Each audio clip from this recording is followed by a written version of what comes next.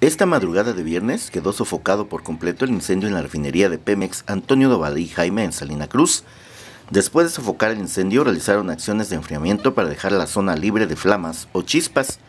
Este jueves, Pemex señaló que se había sofocado el incendio en los lados poniente y sur de la zona afectada y que solo quedaba la casa de bombas donde se registraba fuego de baja intensidad y controlado.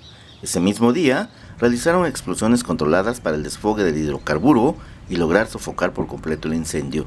Según informes de Pemex, esta conflagración, que inició el miércoles por la mañana, se debió a las inundaciones que dejaron las lluvias ante el paso de la tormenta Calvin y que obligaron a parar el trabajo de la refinería el martes al mediodía. Sin embargo, el anegamiento de agua provocó que se derramaran residuos de aceites, lo que originó el incendio, que dejó como saldo un trabajador de Pemex muerto y nueve lesionados, ya que fueron dados de alta sin mayor riesgos a su salud. Con imágenes de Oscar García, producción de Vicente de la Cruz, Agencia Cuadratín.